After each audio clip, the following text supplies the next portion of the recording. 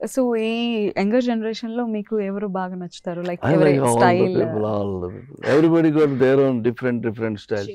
Prabhas ఒక style Allu Arjun ఒక style Pawan Kalyan గారు ఒక కొంతమంది వర్స్టైల్గా అనిపిస్తారు కదా డిఫరెంట్ డిఫరెంట్ డిఫరెంట్ ఒక్కొక్క character depends upon really the what character they play ఇప్పుడు చాలా పిక్చర్లు Baahubali match Prabhas Mahesh Babu.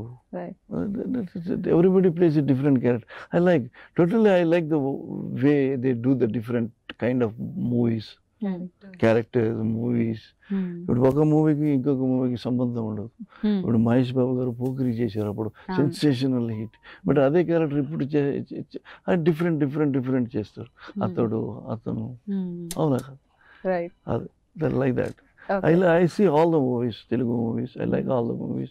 Even I watch Hindi movies, even Kannada movies, all South Indian, Indian, totally Indian movies. I watch all the movies, okay and because uh, మన ఆర్టిస్ట్కి shooting లేకపోతే ఎక్కువ like definitely ఇప్పుడు అన్ని Netflix అది ఇది serials అది series yeah so ఒకసారి and everything is on the hand only ఇప్పుడు మొబైల్ సో ఎక్కడ కూర్చుంటే కూడా టక్ టక్ టక్ habit watch movies go Facebook Instagram లేదా